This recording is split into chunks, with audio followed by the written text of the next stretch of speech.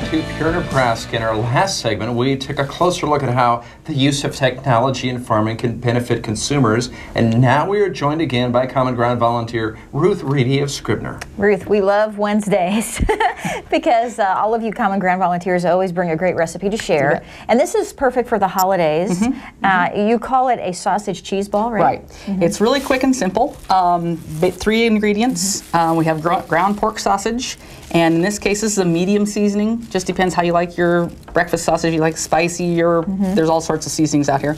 And then we have cheddar cheese. Okay. And biscuit mix. Okay. Mm. And the biscuit mix is kind of the glue that holds it all together.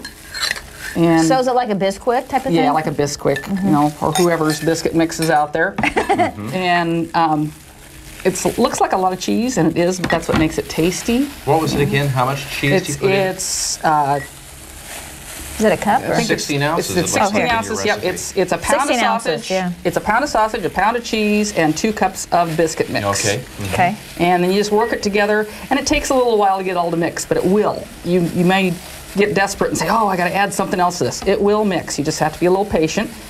And we may just take a piece of this and just kind of go ahead and make the little the little walnut-sized balls for the sausage balls that we make and just kind of roll it together. Yeah, that's something kids would have fun yeah, doing. Yeah, yeah, and I've made them bigger too for like if you want to make it for an entree for. A, oh. I wanted a quick supper one time, and so I made these ahead of time. Oh. And put them in the fridge, and you, you can bake them and then reheat them. Really, they oh. reheat awesomely in the microwave.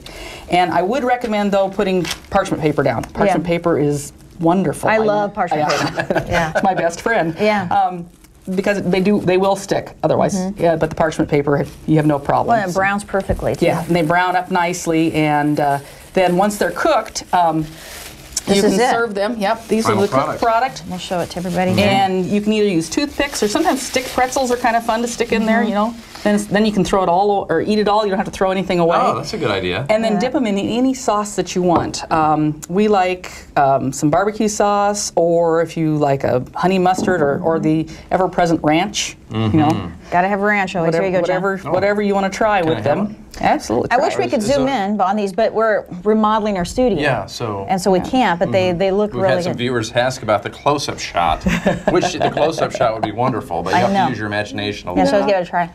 You have to look at the recipe. You mm. took a Mm. picture earlier so they can see the recipe online. On our so, Facebook page, yep, yeah. So you can see them close up in that. So Mm, those are really good. Really good, and I could see, you know, some dipping sauces with it would be really great. A lot of Right. fun. And where they can be prepared ahead of time, and you can bake them, and like I say, you can pop them back in the microwave. They they come out beautifully. Mm-hmm. They don't get tough. They don't. Nothing deteriorates in the quality. So you can freeze them and pull them out, you know, in bulk if you need to, if you're having a big gathering or something. Mm. I love that. Could you put them in the crock pot too, just to warm them up? I would put just probably a little bit of moisture in there underneath, just to make sure you don't stick. And and there again, use that liner in the crock pot.